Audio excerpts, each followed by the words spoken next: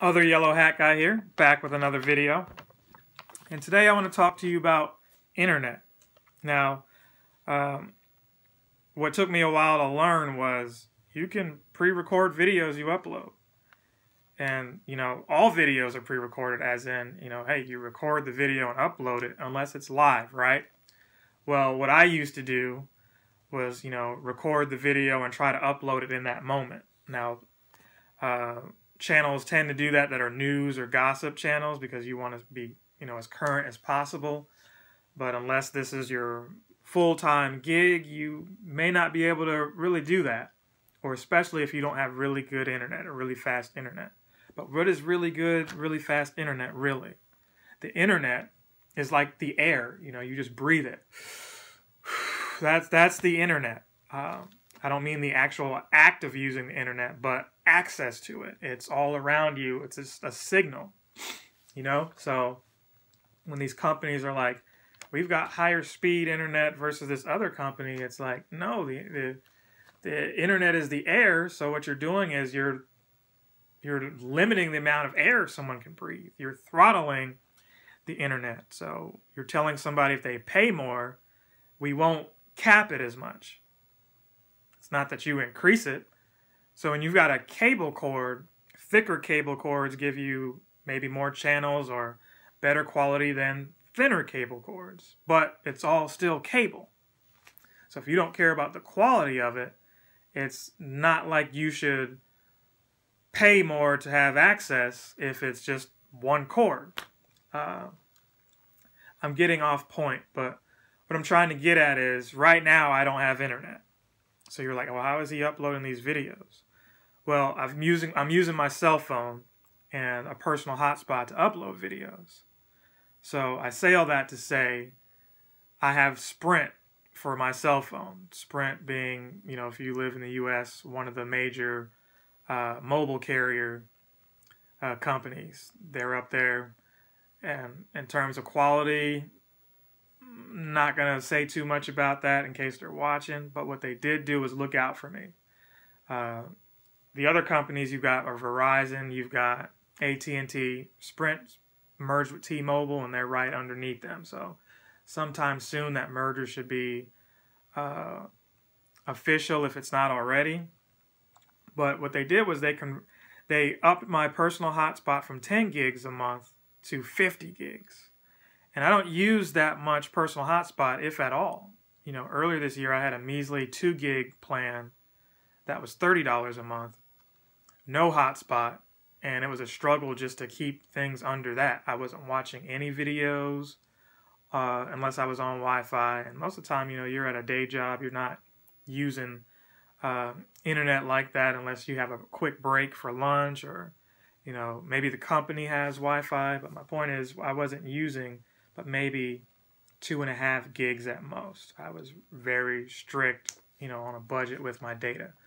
So uh, now I'm at 50 gigs, and that's an early Christmas gift. I have neglected to turn the internet back on because I'm like, well, I'll just use it for whatever device I want to use, watch what I want to watch, uh, and still be somewhat conservative. I'm still able to upload these videos and download as long as I'm not downloading, you know, a whole bunch of stuff. I should be fine. And, and I'm going to just try that out. So, what am I really getting at? So you have a company called Spectrum. Spectrum provides cable to a lot of people, cable, uh, internet, and home phone.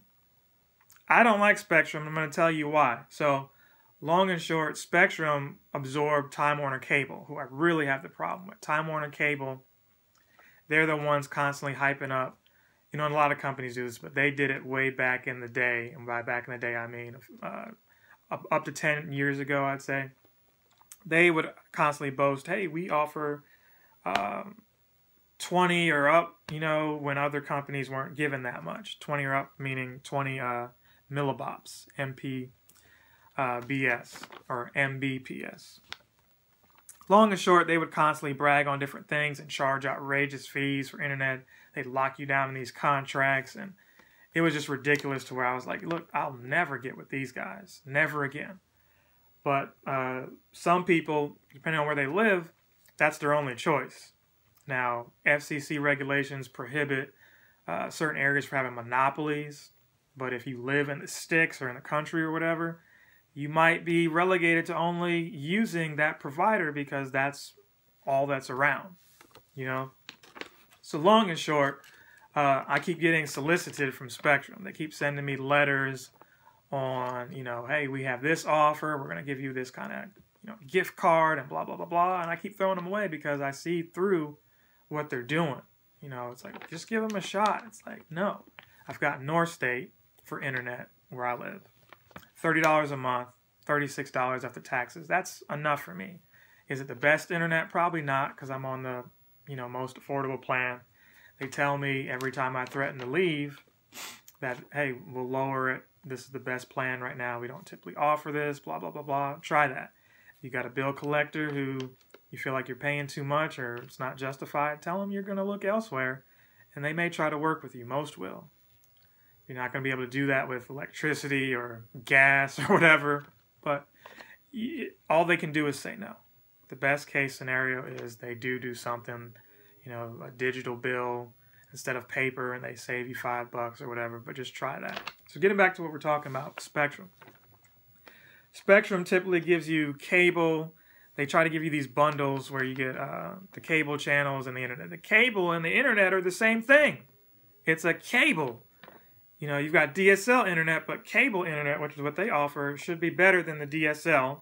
It's the same source, but what they really want is to keep the dying dinosaur of cable television uh, alive by packaging it, it packaging it with other options, such as the cell, uh, the it's not cell phone, the uh, digital phone, and uh, you know the internet. So what I got here is the latest solicitation here. And what they're offering me is Spectrum Lifestyle TV and Internet for $59.98, no contract. Roughly $60, $65 uh, a month. And I get TV and Internet. I don't really need cable. I don't.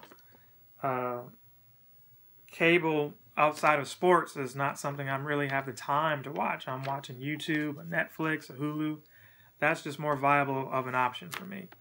So I don't really need that, but um, what they're saying here is uh, no data caps, 100 MP, uh, Mbps speeds. So I'm like, you're capping it. You can't, you know, increase internet. It's there. Uh, HD channels and all this and all that. Call us, limited time offer. And I started to do it. I was like, well, you know, I could do that for a couple months because that could be cheaper than what I may owe on my actual cable bill or my, uh, excuse me, internet bill now. You know, let's say I let it go for two, three months and uh, that's $60. Well, instead of paying that, or not 60, let's say it's 90 or 120. You know, they cut me off after four months, hypothetically this would be, you know, a way to get internet back on for the time being until I had enough money to pay the 120 or whatever for my internet bill. hmm, should I do that? But in the long run, you're going to have to cancel this and then go back to uh, the other bill. I'd have to go back to North State, and maybe North State wouldn't offer me that cheap plan anymore. You just don't know how that plays out.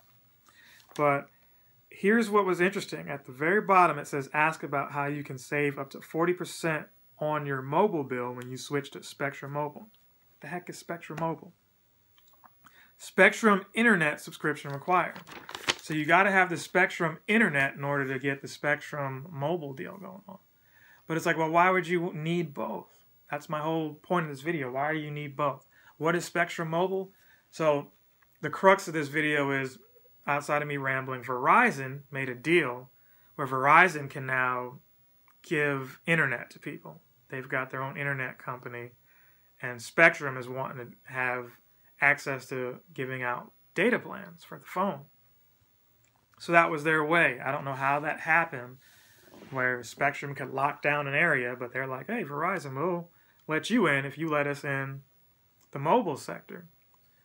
So, uh, what do you think of that? Do you have Spectrum Mobile? Is that something that interests you? I don't know how I feel about it. I don't think I'm going to do it.